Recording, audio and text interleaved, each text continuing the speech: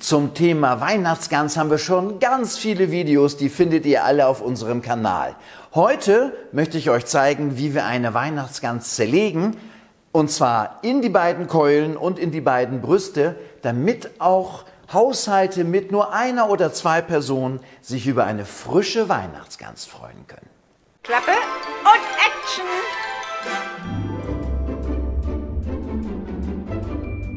Oh, ist das lecker.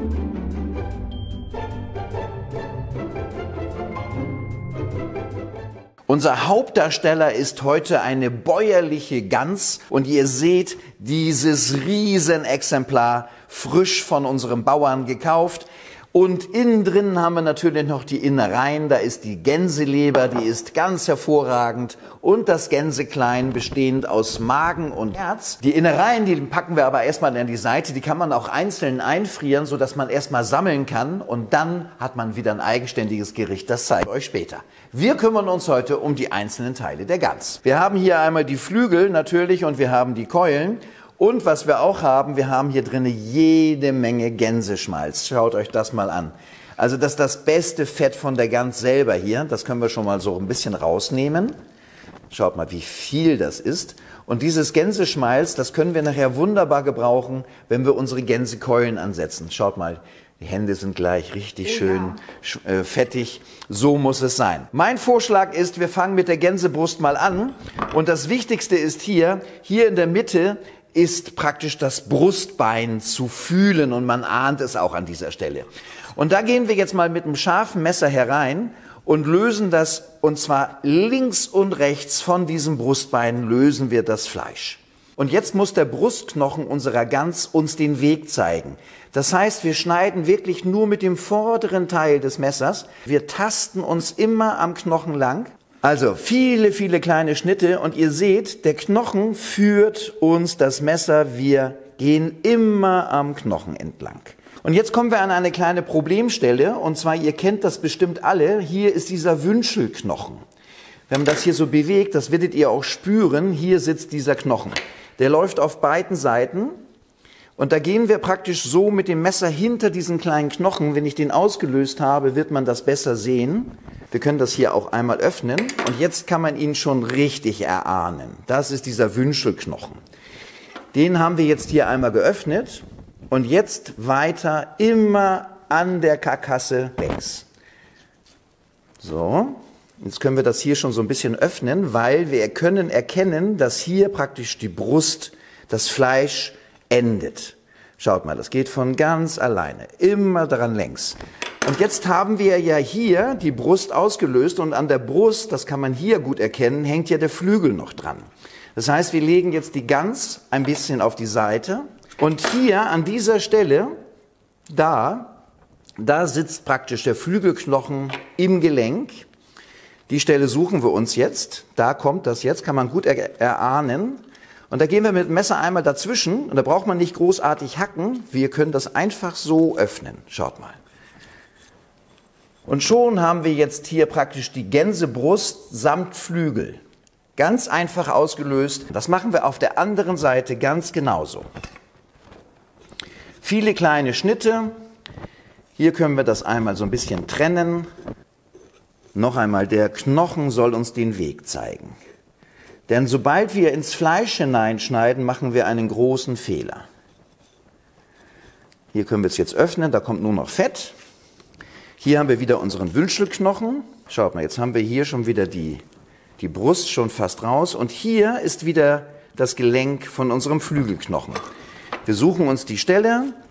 Da ist der Knochen. Da brauchen wir nur einmal ganz leicht mit dem Messer so einmal reingehen, den Weg suchen zwischen den Gelenken. Und so haben wir auch mit wenigen Schnitten auch die zweite Brust mit Flügel von der Karkasse gelöst. So, schaut mal. Das ist dieser Wünschelknochen. Ja? Und das ist meistens das Problem, wenn der hier so sitzt und wir haben eine ganze Weihnachtsgans, die wir frisch aus dem Ofen herausholen. Wenn ihr dann trangieren wollt, dann stoßt ihr immer gegen diesen Knochen. Deswegen bei einer ganzen Weihnachtsgans jetzt auch nochmal der Tipp, nur diesen Knochen herausnehmen, dann könnt ihr nämlich später, wenn sie im Ganzen aus dem Ofen kommt, das Ganze wunderbar trangieren, ohne dass dieser Knochen euch hier an dieser Stelle stört. So, jetzt wollen wir noch die Gänsekeulen von dem Knochen trennen. Und da ist es so, wir haben hier eine Tasche. Wenn wir das hier öffnen, seht ihr, da ist auch, ich schneide hier auch nicht durch Fleisch. Das öffnet sich praktisch an dieser Stelle von ganz alleine. Hier durchs Fett schneiden, überhaupt kein Problem. Aber hier an diesen Stellen, da ist nur so eine kleine Haut. Carmen, kannst du das einfangen? Ja, das sieht man. Okay. Und die kratzt sich nur an, immer weiter. Also auch hier wieder immer weiter am Knochen längs. Nicht in die Keule schneiden. Und jetzt passiert Folgendes. Wir kommen auch hier an das Gelenk heran. Und zwar da, wo praktisch der Oberschenkel in der Karkasse mündet. Da kann man ihn schon so ein bisschen erkennen. Mhm. Wir müssen das jetzt überdehnen. Hast du das gehört? Ja.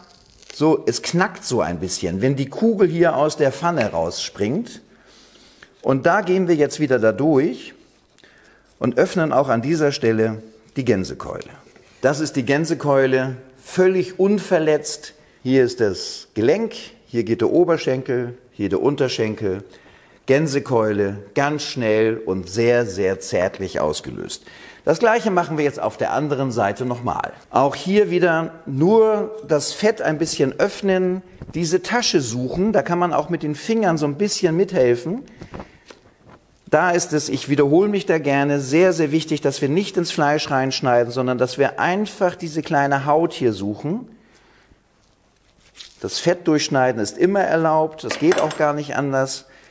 Wenn man sich nicht sicher ist, einfach nochmal fühlen, und dann immer, auch das wiederhole ich mich gerne, nur mit der Vorderseite der Klinge ein bisschen arbeiten. Hier können wir es auch noch mal ein bisschen öffnen, bis wir an die Stelle kommen. Jetzt kommt wieder dieses Überdehnen und da kommt die Kugel heraus. Da ist das gut zu erkennen. Das heißt, wir haben jetzt das Gelenk schon geöffnet und wir brauchen jetzt nur noch an dem Oberschenkelknochen einmal vorbei und alles auszulösen. Gänsekeule Nummer zwei. So, was wir jetzt noch haben, ist praktisch der ganze Knochen und noch Teile von der Haut. Schaut mal, das können wir einfach so wegschneiden. Das ist praktisch der Hautlappen vom Hals. Hier ist noch von der Brust die Haut. Die können wir auch einfach so herunterschneiden, weil da ist natürlich so viel Fett drinne, Gänseschmalz und das können wir gut gebrauchen, unter anderem für unsere Gänsekeulen, die wir gleich zubereiten wollen. Deswegen das bitte nicht wegtun. Das können wir extra zubereiten. Und so haben wir praktisch den gesamten Knochen von der Gans ausgelöst. Wir haben natürlich noch den Hals. Die anderen Innereien hatte ich schon rausgeholt und der Hals steckt hier auch meistens noch mit in der Karkasse. Und den, den hacken wir auch in Stücke und benutzen ihn mit für unsere Soße. Genauso wie diesen großen Knochen und wie wir aus Gänseknochen eine wunderbare Gänsesoße herstellen, zeigen wir euch in dem nächsten Video. In den nächsten Tagen werden wir das da oben einblenden. Wir machen jetzt einen Film nach dem anderen. Einmal heute das Zerlegen. Der nächste Film wird die braune Soße sein und dann noch die Rezepte zur Gänsebrust und zur Gänsekeule. Könnt ihr euch schon mal drauf freuen.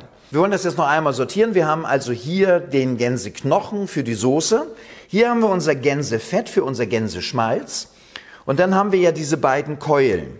Und was wir jetzt hier auch schon wunderbar erkennen können, dass hier unglaublich viel Fett noch dran ist. Deswegen traue ich mich, ich nehme ein bisschen was weg, weil das passt nämlich hier wunderbar mit hin. Das können wir auslassen, können wir das noch ein bisschen nachschneiden. Wichtig ist nur, bitte nicht ins Fleisch hinein. Gänsekeule Nummer eins ist fertig. Bei der zweiten Gänsekeule machen wir das ganz genauso. Aufpassen, nicht ins Fleisch hineinschneiden, sondern nur das Fett ein bisschen trimmen. Schaut mal, einfach ein bisschen kleiner machen, weil das Gänseschmalz benutzen wir ja gleich extern. Schaut mal. Und so haben wir doch wirklich schon zwei wunderbare Gänsekeulen. Bei einer Gänsebrust ist es ja so, was mich jetzt hier noch stört, ist dieser lange große Knochen. Da ist auch nicht furchtbar viel dran.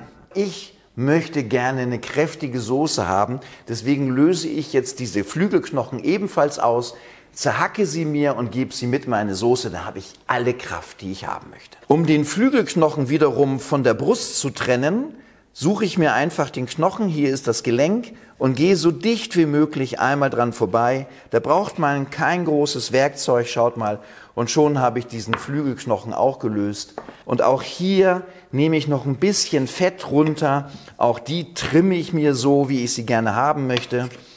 Einfach so ein bisschen putzen. Schaut mal, das geht wirklich alles ganz, ganz schnell. Das machen wir natürlich und schaut euch das an, was wir hier an Fett bekommen. Das ist wirklich unglaublich. Und sollten hier noch Federkiele drinne sein, müssen wir das natürlich super schön sauber machen. Aber es sieht doch jetzt schon toll aus und schaut, wie vollfleischig sie ist. Das gleiche machen wir natürlich mit der zweiten Gänsebrust ganz genauso. Wir suchen uns wieder den Knochen, ganz dicht am Knochen vorbei, bloß nicht in die Brust hineinschneiden. Schaut mal, da ist er. Und auch hier das überschüssige Fett ein bisschen herunternehmen, nicht zu viel. Und schon haben wir hier auch zwei wunderbare Gänsebrüste, zwei Gänsekeulen. Und das ist doch etwas Wunderschönes. Das kann sich auch ein Ein-Personen-Haushalt wunderbar vorbereiten. Weil diese Gänsekeulen, die kann man ganz prima einfrieren. Da passiert überhaupt nichts. Man kann unterschiedliche Gerichte aus der Gänsebrust machen. Also, da lohnt es sich auch, sich einmal die Mühe zu machen und eine gute Gans selber zu zerlegen. Ich hoffe sehr, dass ihr mit dieser kleinen Zerlegetechnik eurer Weihnachtsgans ein bisschen Spaß hattet. Ich wünsche euch viel Spaß beim Nachschneiden und weitere Filme, wie gesagt, zum Thema Soße, Gänsebrust und Gänsekeule folgen auf diesem Kanal. Bis dahin, wir haben euch lieb, auf Wiedersehen und tschüss.